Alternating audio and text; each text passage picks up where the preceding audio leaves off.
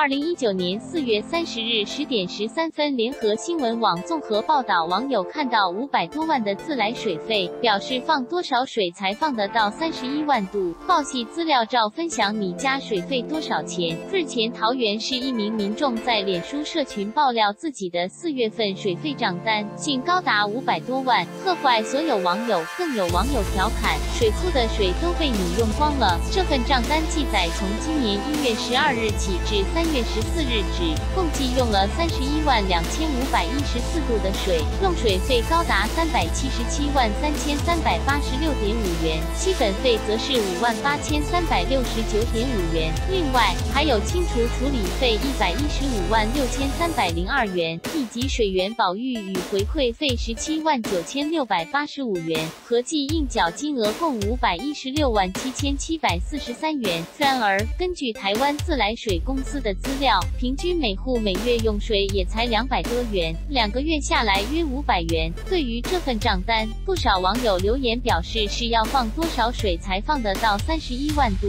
但也有网友替袁波紧张，是否家里真的漏水？自来水公司事后坦诚，因疏失开错了单，表示每月汇到百万以上水费的几乎都是工业用水，而这份虚拟总表是专门用来管理小区是否有漏水的参考数值。因为疏漏才不小心寄给民众，目前已经重新开单，并对造成用户误会感到抱歉。莱斯布洛克阿兹会。